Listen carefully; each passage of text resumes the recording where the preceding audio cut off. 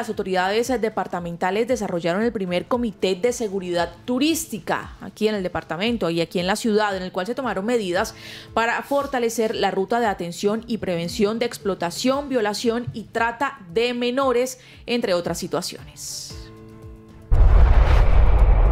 en articulación con el Instituto Colombiano de Bienestar Familiar, la Fuerza Pública, Secretaría de Convivencia y Seguridad y por supuesto Secretaría de Turismo en acompañamiento de otras dependencias de la Gobernación del Valle del Cauca con el propósito de prevenir la explotación sexual y comercial de los niños, niñas y adolescentes del Valle del Cauca, no solamente de cara a lo que va a suceder en la COP16, sino para que tengamos una ruta articulada para que empoderemos a los niños y a las niñas y ellos puedan tener no solamente una ruta para la denuncia, la atención, y el restablecimiento de los derechos, sino también un proceso pedagógico enfocado a las familias del Valle del Cauca.